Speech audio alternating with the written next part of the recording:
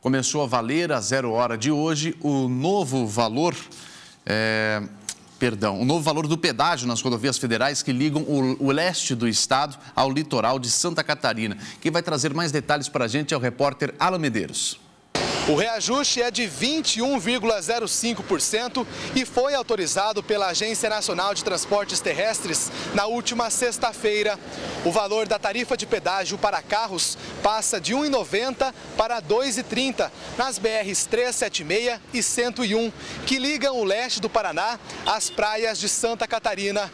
De acordo com a concessionária responsável pelos trechos, o reajuste contempla a reposição da inflação do último ano, compensa a não cobrança dos eixos suspensos de caminhões vazios e contempla investimentos nas rodovias. De Curitiba, Alan Medeiros. Obrigado, Alan, por essa excelente informação.